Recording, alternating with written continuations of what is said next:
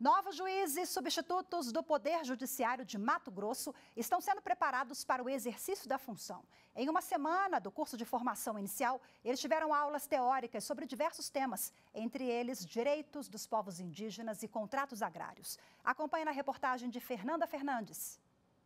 Se tem duas características fortes de Mato Grosso, são o agronegócio, já que o estado é o maior produtor de grãos do país, e a população indígena.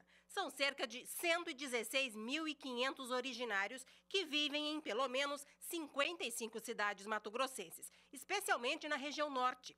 Assuntos que foram tratados em mais uma aula do curso oficial de formação inicial dos cinco novos magistrados de Mato Grosso, ofertado pela Escola Superior da Magistratura. A abordagem da diretora da escola, desembargadora Helena Maria Bezerra Ramos, foi direitos dos povos indígenas e noções de contratos agrários.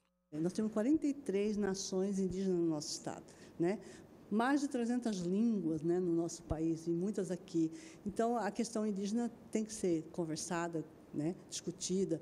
Os juízes vão julgar crimes praticados por índio ou crimes praticados contra índio. O nosso setor agrícola e pecuário muito poderoso, né? O, o PIB do país hoje é, ele é bom por nossa causa. O 20% do nosso PIB é daqui do agronegócio.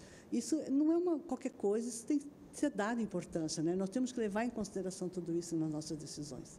Além desse tema, a turma também teve aulas agora no fim de fevereiro sobre o regimento interno e os sistemas operacionalizados pelo TJ, a vara da infância e juventude e o juiz na condução da audiência de família. A intenção da Smages, em parceria com a Enfam, em oferecer um conteúdo programático amplo, atual e baseado na realidade na qual eles estarão inseridos, é prepará-los da melhor forma possível para quando eles assumirem definitivamente as comarcas para onde forem designados. Apesar de ter uma, uma carga é, teórica muito importante, é, a vivência dos professores, dos embargadores que, que frequentam a, o curso é de extrema necessidade para a gente chegar na comarca mais preparados é, para ambientar, para poder é, servir a comunidade, que esse é o papel do juiz e do Poder Judiciário.